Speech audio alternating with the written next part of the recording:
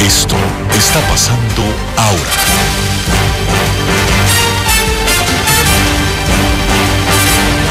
Hola, muy buenos días. Y NSDN sigue dando cobertura a todos los acontecimientos de esta mañana aquí en la República Dominicana.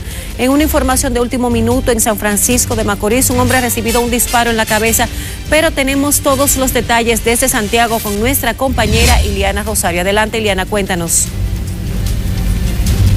Muchísimas gracias Ana Rosina y como bien dices, estamos dando cobertura a todos los puntos de la zona norte del país. En estos momentos nos confirman la herida en la cabeza de un chofer de un camión de cargado de maíz. Este se trasladaba desde Puerto Plata hacia San Francisco de Macorís en momentos en que se registró un tiroteo en la calle Bienvenido Pérez.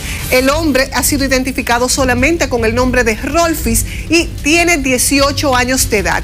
Fue llevado de inmediato a un centro de salud en donde recibe atenciones. Sin embargo, los médicos dicen que el pronóstico hasta ahora mismo es reservado. De igual manera, nos reportan también en San Francisco de Macorís otras tres personas heridas.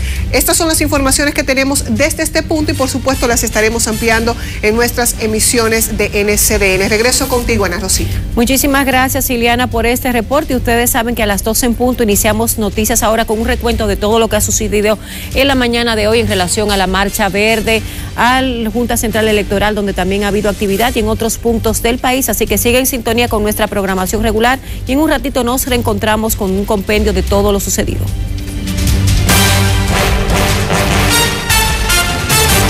Esto está pasando ahora.